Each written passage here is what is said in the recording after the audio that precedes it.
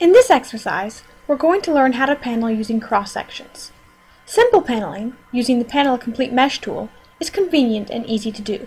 We'll demonstrate using this HyPar that I created earlier in Rhino. We'll simply go to the Options under Panel Complete Mesh, specify the number of panels we want. For this example, we'll use 8 panels, click OK, select the mesh, and run the tool. When we use simple paneling, however, the panel size is dictated by the program, and it can only make numbers of panels that fit evenly into the mesh. Furthermore, the panel seams are always curved, like the mesh, which can cause difficulties during panel construction. To achieve more paneling versatility and control, we panel by making cross-sections. Using cross-sections allows us to customize the size of our panels, and it results in straighter seams. In order to demonstrate how to do this, I'm going to first return to top view, and then I'm going to switch over to a copy of our original HyPar, right down here, which I created earlier.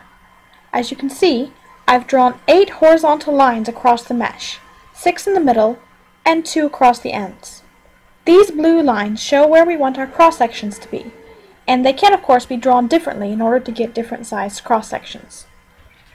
Now we're going to run the cross sections tool, which is going to convert these lines into 3D polylines inserted into the mesh, creating seven cross sections.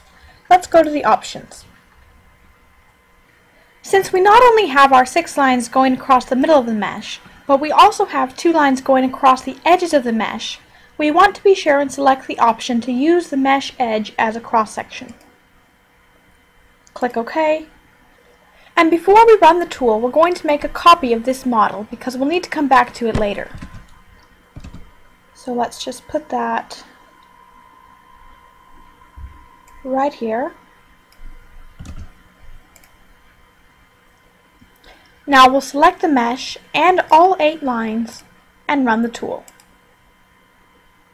This gives us a series of black cross-section polys that include the mesh edges.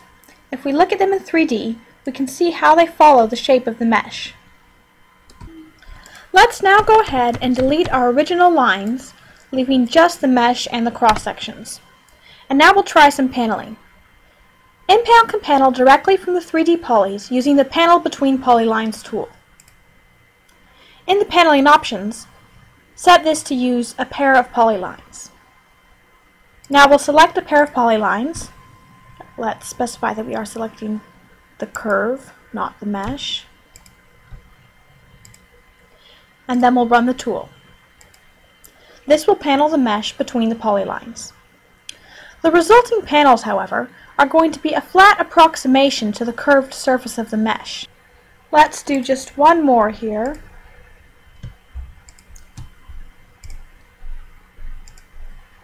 As you can see, these panels have straight ends.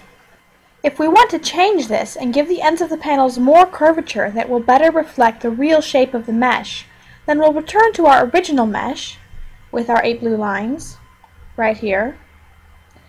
And we'll run the cross-section tool again, but this time we'll do something a little different. First, let's go to the cross-section options. And this time we're going to specify three extra cross sections. Click OK, select all eight lines as well as the mesh, and run the tool again. Now I'm going to delete our original eight lines and our original mesh, leaving just the cross-section polys. We can panel these as before, or we can select the entire set and panel them all at once, using the Panel Between Polylines tool, set to panel color-marked polylines. This time, because we have more cross-sections, the ends of the panels are curved and the panel is shaped to fit through all of the extra cross-sections as well. Of course, whenever you're paneling, be sure to keep an eye on the shear strain, which can be found in the MPanel text window. With a different set of cut lines, the mesh can be paneled in a different direction. We could, for example, make diagonal cross-sections.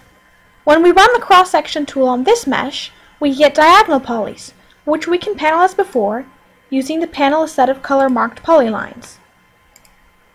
Note that when we do this, a small triangle will probably be left off at the far corner, but this will not generally be a problem during panel construction.